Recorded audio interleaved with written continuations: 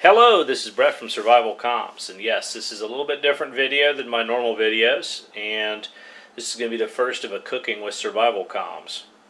And what we're going to do is, is considering it is Derby Day Saturday, is we're going to go ahead and make one of my favorite treats for Derby Day, and this needs to be done right about now, which is uh, two days before Saturday. And this is beer cheese. We have it with cocktails pre-race. So stick around. Okay, here's our list of ingredients. We got one pound of sharp cheddar that's shredded up. Uh, I'm using uh, Cracker Barrel for this example. 12 ounces of beer. For this example, I'm using uh, a Sam Adams Boston Lager. A quarter teaspoon of black pepper. Quarter teaspoon of Worcestershire sauce. Three minced cloves of garlic quarter of an onion diced. I'm using a white onion. A quarter teaspoon of Tabasco sauce. An eighth a teaspoon of bacon salt and just a pinch of cayenne.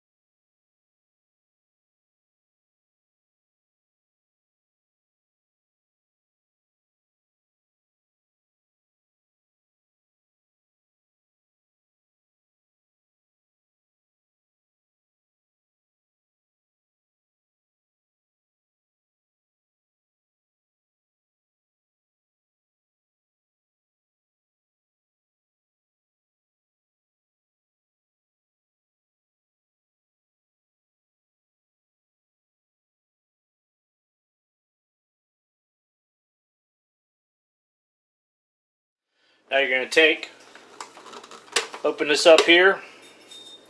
You can see it's kind of liquidy. After you've made a suitable mess in the kitchen, it's going to have kind of a runny consistency to it, but don't worry about that. The stuff will thicken up nicely in the uh, refrigerator. So you just take, cover it up, put it in the fridge. Well, you can see even in an hour it's thickened up nicely. Man, that's good. I hope this helps. This is Brett from Survival Comms. Till next time.